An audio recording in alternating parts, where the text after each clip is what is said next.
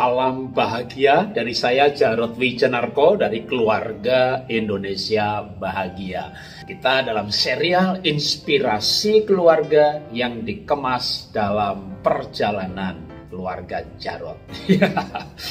Kali ini kita perjalanannya bukan sekeluarga, tapi hanya saya dan istri saya ke Toraja yang disebut sebagai negeri di atas awan. Nah, Toraja ini bisa dijangkau dari Makassar dengan perjalanan darat kira-kira bisa 7 sampai 8 jam.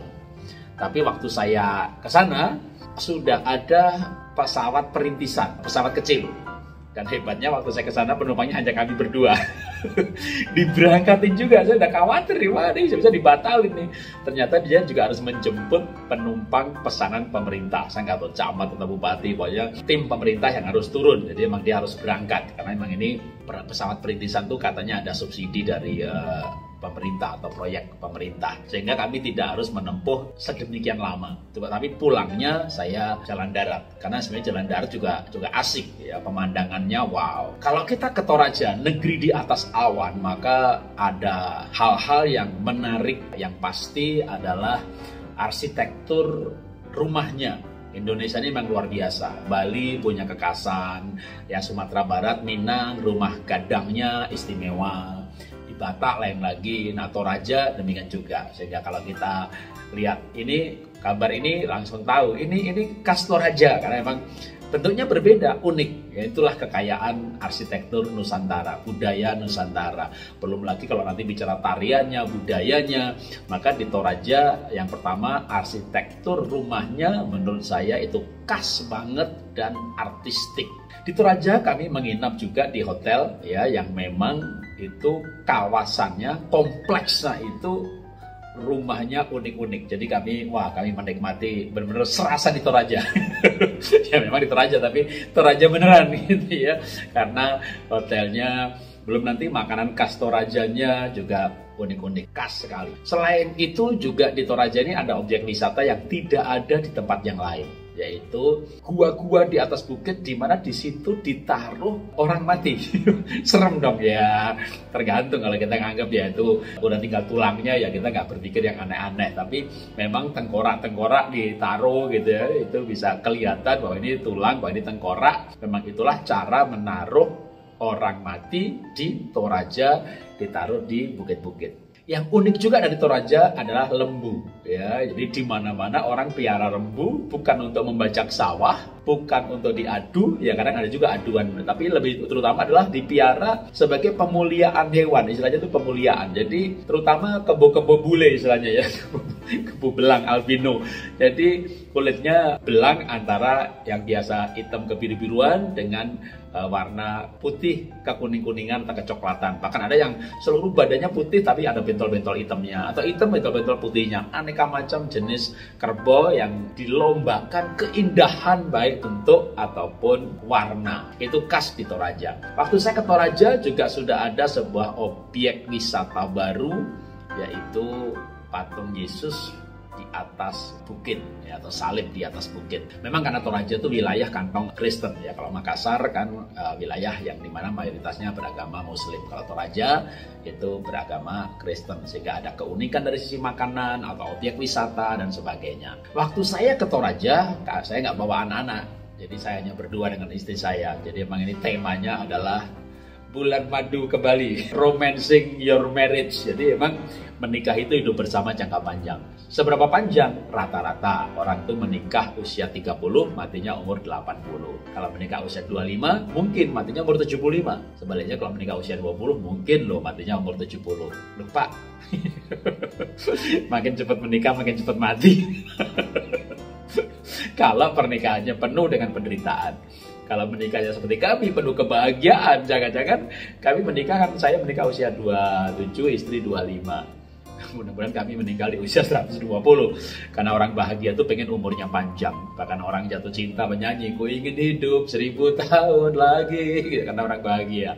Begitu sudah menikah kapan dia mati? Kalau yang yang ekstrovert. Yang introvert aku lebih baik mati saja. Jadi siapa yang mati tergantung gayanya. Ekstrovert atau introvert Tentu menikah bersama katakanlah rata-rata 50 tahun. Ini bukan sebuah perjalanan yang mudah tanpa pergumulan dan masalah. Justru karena sadar bahwa perjalanan ini panjang dan penuh pergumulan, maka kita harus menyiasati dengan membangun kemesraan. Menyiasati dengan memelihara cinta. Cinta itu nggak turun dari langit.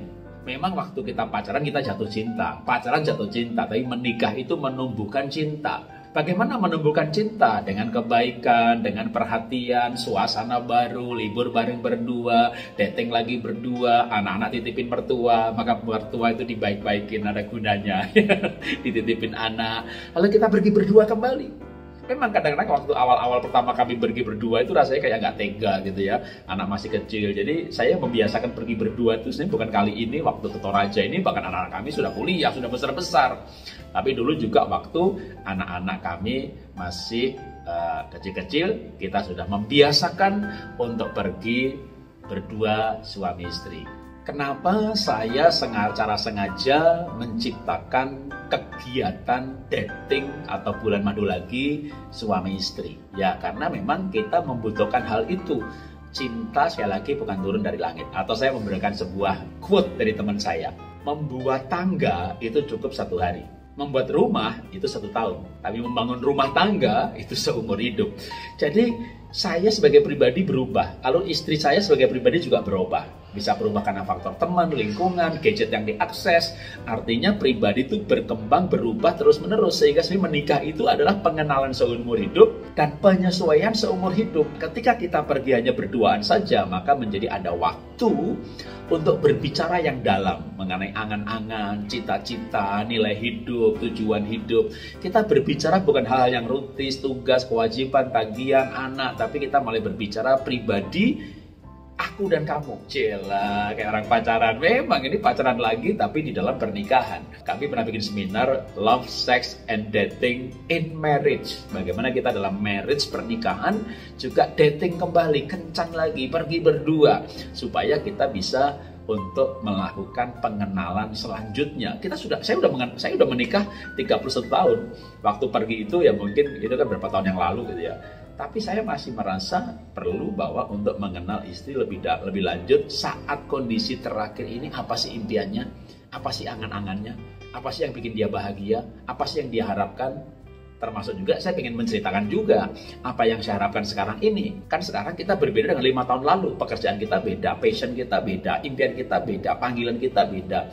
Apa yang utama dalam hidup kita berbeda beberapa orang tertentu kondisi keuangannya juga udah berbeda. Dulu uh, bekerja, sekarang pensiun atau dulu bisnis, sekarang sudah sudah pensiun juga nggak bisa lagi usahanya tutup. Jadi ketika ada perubahan-perubahan, apa itu perubahan itu adalah hal-hal yang besar dalam hidup ini. Maka tentu kita mengalami perubahan kejiwaan, perubahan impian dan itu perlu menyesuaikan lagi antara suami dan istri. Mencari pemahaman-pemahaman bersama apa yang akan dilakukan pada masa-masa selanjutnya kalau saya kan sekarang umurnya 56 tahun, istri 54. Sebenarnya kami udah masuk ke 57 sih ya, istri 55. Istilahnya masuk melewati, sudah lewat sih masa istri menopause dan saya uh, namanya puber kedua atau sebenarnya nggak ada secara secara medis nggak ada puber kedua tapi secara psikologis ya ingin hal-hal yang baru. Ketika masa-masa yang ini juga seperti masa krusial kedua, tapi dengan dengan adanya hubungan yang baik, relasi yang baik, bahkan medianya diciptakan lewat pergi berdua,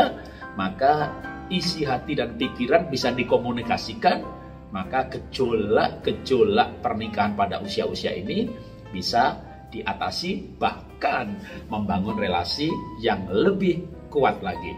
Itulah inspirasi hari ini adakan waktu untuk dating berdua dengan pasangan, untuk membangun pernikahan yang selalu berkembang, cinta sepanjang kehidupan. Salam bahagia, luar biasa.